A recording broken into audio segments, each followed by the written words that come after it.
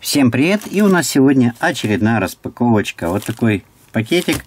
Э, здесь у нас написано Players. То есть стриппер для зачистки проводов. Я всю жизнь обходился, честно говоря, без этих всяких прибуд. Но не всегда удобно без них. Э, и в некоторых случаях очень тяжело. Поэтому все-таки решил, что эта штука мне нужна. Ну, раз нужна, значит я взял и купил. Вот такая вот штукенция у нас. Здесь мы можем зажимать еще разъемчики, а, прижимать. У меня, конечно, специальные есть э, пресс-клещи для этого, которыми пользоваться намного лучше, но это тоже почему-то уже она есть, и это хорошо. Э, по качеству, так вот внешне, что сказать, э, по пластику. Ну, конечно, видно, что это не очень дорогие. Ну, так они и на самом деле недорогие. Но так, отвращение не вызывает. Сейчас попробуем что-нибудь зачистить. Э, лезвия как такового здесь нету. Я думал, что тут будет лезвие. Ну, то есть такие простенькие, простенький стриппер. Ничего особенного такого я тут не вижу. Давайте попробуем, как он зачищает кабель. А, это как ограничитель. Мы выбираем, на какую длину мы хотим его зачистить. И потом делаем вот таким образом. А, кстати, несмотря на свою кажущуюся простоту, мне понравилось, как он зачистил. Достаточно быстро и удобно. Я думал, будет хуже. Что-то, как я его получил, я немножко разочаровался. Но нет. А здесь есть небольшой скол. Видите?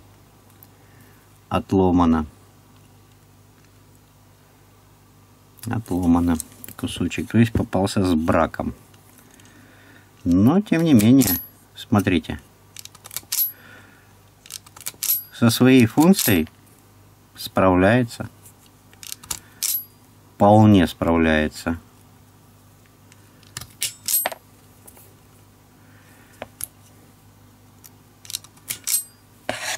Ну, вполне неплохо.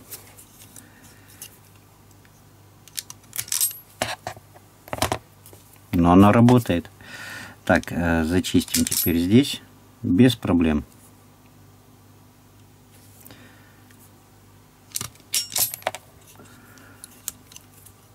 То есть вставили, зачистили. Надо зачистить здесь. Хопс. И порядок. Два нажатия и у нас все простенько. Несмотря на то, что есть скол, он как бы в работе не мешает. Все работает. Ну, так, вот тут еще у нас регулировочный винт. А, под ним пружинка какая-то. Ага. Он, вот этот винтик... Ай, блин, больно. А, вот этот регулировочный винт у нас э, влияет на силу прижатия вот этой губки верхней. Видите, без него она не прижимается. То есть, чем сильнее мы его закрутим, закрутим тем сильнее будет давить на оплетку. Понятно?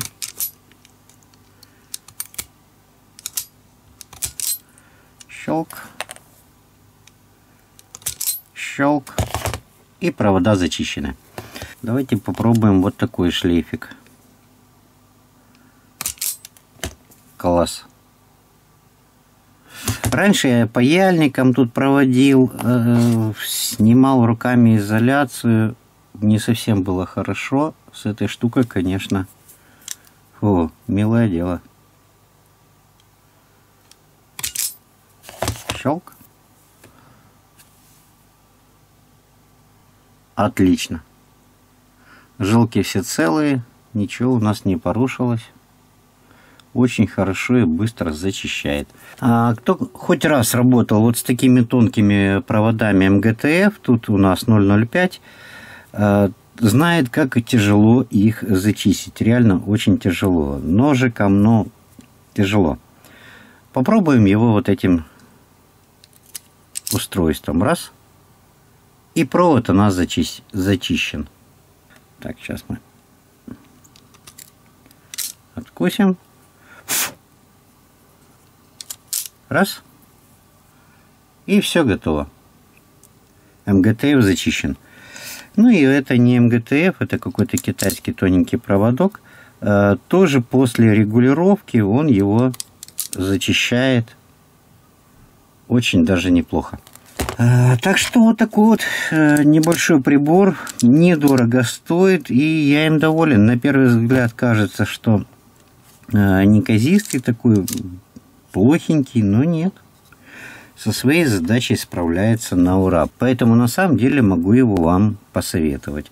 Э, я доволен, даже несмотря на то, что мне попался бракованный со сколом, э, но он работает. Ссылочка на него в описании. Выходите, смотрите и покупайте. На этом все. Я с вами прощаюсь. Всем пока.